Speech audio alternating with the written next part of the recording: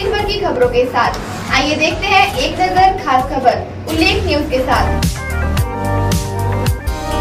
बागेश्वर ज़िले में 11 पेट्रोल पंपों में से अधिकतर पेट्रोल पंपों में तेल की समाप्ति का बोर्ड लगने से वाहन चालकों को तेल के लिए विभिन्न पंपों के चक्कर काटने पड़ रहे हैं।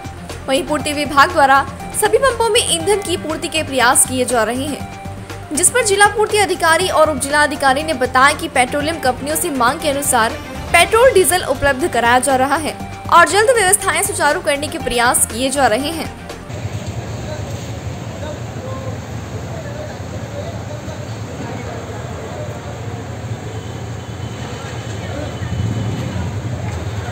तेल के लिए कल मैंने कांडा लाइन में जो तीन पंप हैं, वहाँ पता कराया, कांडा वाले पंप में पता कराया, वहाँ भी तेल नहीं था।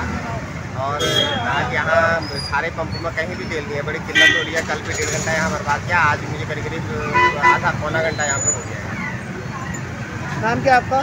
महेंद्र सिंह रोटी का